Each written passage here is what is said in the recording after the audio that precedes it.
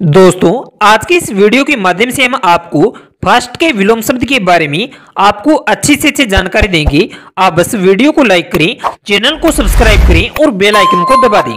हम आपको सबसे पहले बता देते हैं कि विलोम शब्द किसे कहते हैं, ताकि आप फ़र्स्ट के विलोम शब्द को अच्छी तरह से याद कर सकें। तो दोस्तों, जरा ध्यान से सुनिए कि वे शब्द जो एक दूसरे के विपरीत या उल्टा अर्थ देते हो, उन्हें विलोम शब्द कहते हैं। और वहीं पर अगर हम फ़र्स्ट के विलोम शब्द की बात करते हैं तो दोस्तों आपको बता देते हैं कि फ़र्स्ट का विलोम शब्द स्लो होता है। यानी दोस्तों फ़र्स्ट का विलोम शब्द स्लो होता है और यह आपको स्क्रीन पर देखने को मिल रहा है।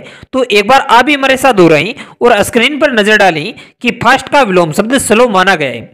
अगर इसके अलावा दोस्तों, अगर आप इन्हें और भी अच्छी तरह से याद करना चाहते हैं तो आपको यह पता होना चाहिए कि फ़र्स्ट का अर्थ क्या होता है और स्लो का अर्थ क्या होता है।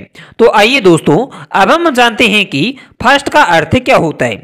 दोस्तों, फ़र्स्ट का हिंदी में अर्थ होता है तेज, यानी जो तेज होता है, उसे ही अंग्रेज़ी में फ़र्स्ट कहते हैं। और वहीं पर अगर हम स्लो के अर्थ की बात करते हैं तो दोस्तों, स्लो का हिंदी में अर्थ होता है धीमा यानी जो धीमा होता है, उसे ही अंग्रेज़ी में स्लो कहा जाता है। तो दोस्तों, अब आपने यह समझा कि फ़र्स्ट का अर्थ क्या है और स्लो का अर्थ क्या है तो आप अब यह काफ़ी अच्छी तरह से समझ सकते हैं कि फ़र्स्ट का विलोम शब्द क्या होता है।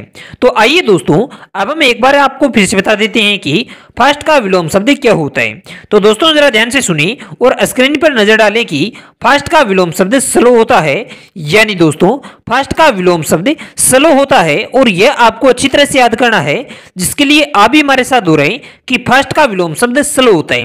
तो दोस्तों, आज की इस वीडियो के अंदर आपने सीखा कि फ़र्स्ट का विलोम शब्द क्या होता है। अगर आपको इसके बारे में अच्छी जानकारी प्राप्त हुई हो तो वीडियो को लाइक करें, चैनल को सब्सक्राइब करें और बेलाइकन को दबा दें।